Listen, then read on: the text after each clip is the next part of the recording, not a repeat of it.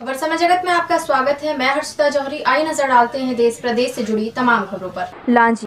लांजी जनपद अंतर्गत ग्राम कुम्हारी में 11 सदस्यों वाला परिवार छोटी सी जगह में कच्चे मकान, तले आर्थिक तंगी के बोझ के साथ जीने के लिए मजबूर है।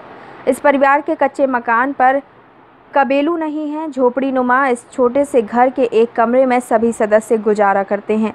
इसके बावजूद भी इस ओर गाँव के सरपंच और अन्य जिम्मेदारों द्वारा प्राथमिक तौर पर इन्हें प्रधानमंत्री आवास योजना का लाभ नहीं मिल पा रहा है और सूची क्रम के अनुसार ही आवास योजना का लाभ देने की बात कही जा रही है। क्या नाम है? क्या समस्या है तुम्हारी?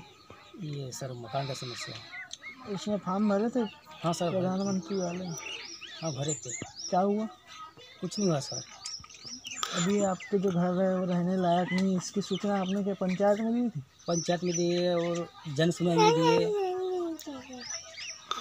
तो प्रधानमंत्री आवास योजना की जो लिस्ट है उसमें आपका नाम नहीं आया है क्या अभी तक के? आ गया सर। तो अभी तक के आपके जो पहले वाले हैं या बाद वाले हैं उन लोगों का मकान नहीं हो गया आप लोगों को नहीं मिला है कैसा ऐसा कुछ मिला है सर। क्या बोल रहे सरपंच से आपने इस बारे में बात किए थे? हाँ सरपंच साहब से बोले ना हम लोग ने कि आप हमको मकान दिलाओ बोले के तो नहीं बोले लाइन से बन रहा है सब बोल के बोल रहे थे। अच्छा तो लाइन से बन रहा पर उनको आपने ये नहीं बोला कि पहले हमारी ज़रूरत है? उन लोग को बोले कि मैंने बोली उनको जाके बोली कई बार बोली उनको जाके।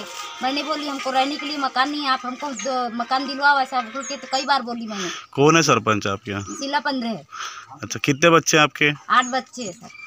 आठ बच्चे हैं कितने लड़के कितने लड़के हैं? पाँच लड़कियाँ हैं तीन लड़के हैं। अच्छा अच्छा। कितने लोग पढ़ने जाते हैं स्कूल? हमारे यहाँ दो लड़कियाँ तो नहीं जाती पढ़ने के लिए बाकी लड़के सब जाते हैं। क्यों नहीं जाते हैं? वो नहीं पढ़ाई कर रहे अब एक ने दसवीं पढ़ ली है एक नवी पढ़ रही है इसके लिए नहीं जा रहे अच्छा अच्छा। और क्या करते हो आप? मिस्त्री काम सर कहाँ पर?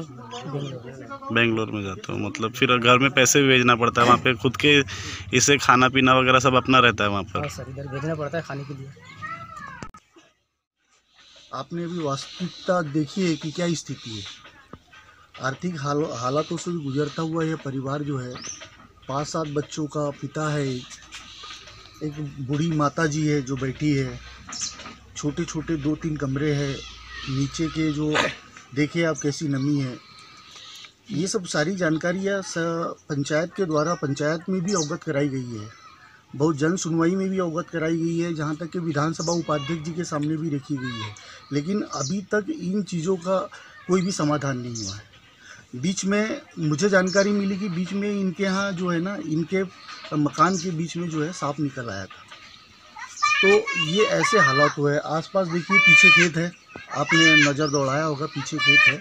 तो मेरा ये, मेरी मांग थी कि इस स्थिति में रहने वाले जो परिवार है, गरीब परिवार है, निर्धन परिवार है, जो बड़े मुश्किल से अपना गुजर बसर करते हैं, जीवन यापन करते हैं, अपने बच्चों को पढ़ाते हैं, आज स्थिति ये है कि अपने बच्चों को पढ़ा नहीं पा रहे।